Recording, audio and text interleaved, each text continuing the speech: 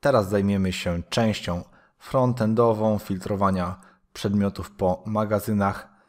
Pierwsza rzecz, którą zrobimy, to otworzymy plik warehouse CSS i tutaj dodamy jeden styl. Będziemy chcieli dodać tam labelkę w tym widoku, dlatego robimy warehouse label i tutaj ustawimy dwa parametry. Font size myślę, że 15 pikseli. No i drugą wartość tekst fill to będzie primary blue. OK, to już jest gotowe. Teraz otwieramy w SimBuilderze plik warehouse fxml. No i tutaj będziemy musieli dokonać kilku zmian. Rozwijmy tą zakładkę kontrolki, controls. O, na pewno tutaj możemy znaleźć coś takiego jak o, taki separator. On nam się przyda, bo teraz będziemy chcieli dalej dodać tutaj label.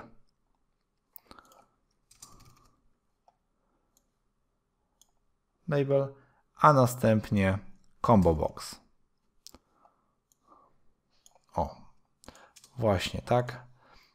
Tutaj w tej tabelce napiszemy selected warehouse i możemy od razu nadać jej styl warehouse label.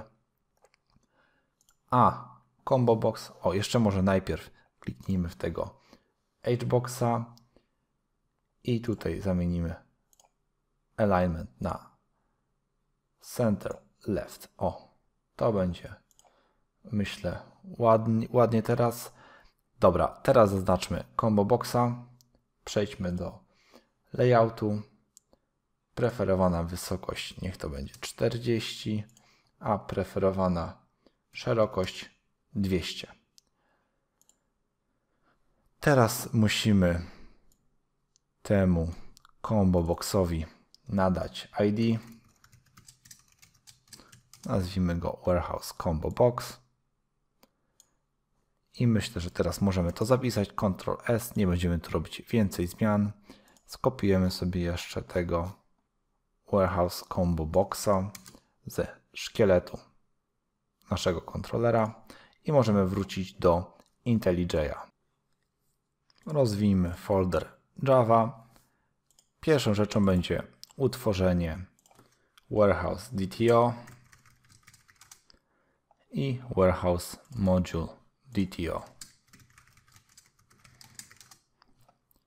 Najpierw zajmijmy się warehouse DTO. Dodajemy adnotację data. Ustawiamy dwa pola odpowiedzialne za ID warehouse i jego nazwę. Jeszcze nadpiszemy tutaj metodę toString. Będziemy chcieli, żeby przy zwracaniu tego obiektu w postaci stringa, żeby wyświetlała się tylko nazwa. Będziemy to wykorzystywać w combo boxie, ale zaraz do tego dojdziemy. Teraz warehouse module DTO, tu jeszcze może poprawię trochę formatowanie. Warehouse module DTO, dodajemy anotację lombokową data, no i trzy pola warehouse DTO to będzie selected warehouse.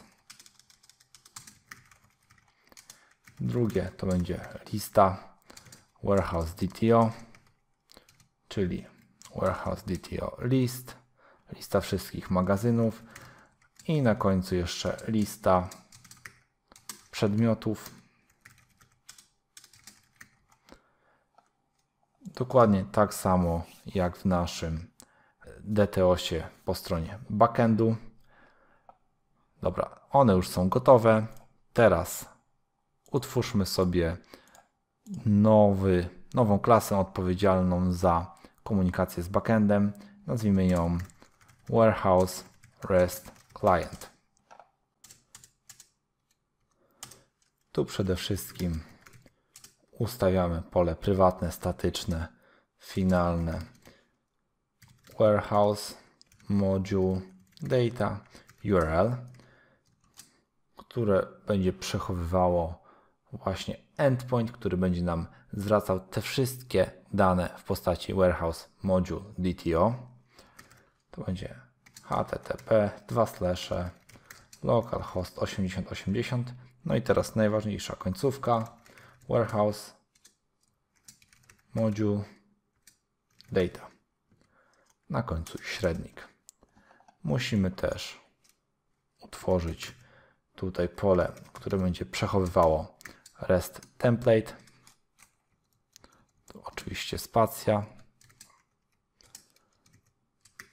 No i ten REST template będziemy musieli zainicjalizować w konstruktorze właśnie w taki sposób.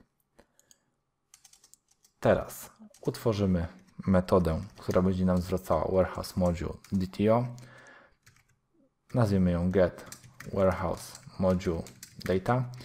Ta pierwsza metoda nie będzie przyjmowała żadnych parametrów, tak samo jak po stronie backendu robiliśmy taką, która nie przyjmuje żadnych parametrów i zwraca e, wybrany, zaznaczony pierwszy magazyn, a zaraz zrobimy drugą metodę, która będzie nam przyjmowała ID warehouse, ID magazynu, no i będzie zwracała warehouse module DTO z zaznaczonym magazynem właśnie z tym ID-kiem.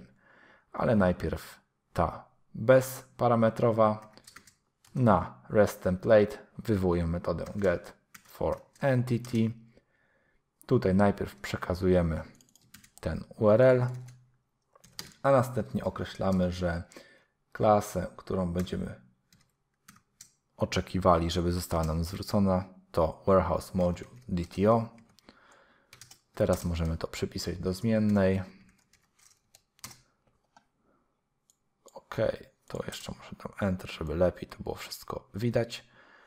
No i na samym końcu zwracamy tutaj metodą getBody już samo warehouse module DTO. Dobra, pierwsza metoda jest gotowa. Teraz ją skopiujmy, wklejmy. Musimy tutaj tylko dodać long id warehouse. No i tutaj na końcu tego napisu dodajemy jeszcze plus, znak zapytania i piszemy id warehouse równa się, a następnie przekazujemy ten ID warehouse, który będziemy otrzymywali jako parametr. Będziemy dostawali dokładnie taki sam warehouse module DTO, no i na końcu ten warehouse module jest zwracany. Ok, e, na razie w tej lekcji to tyle.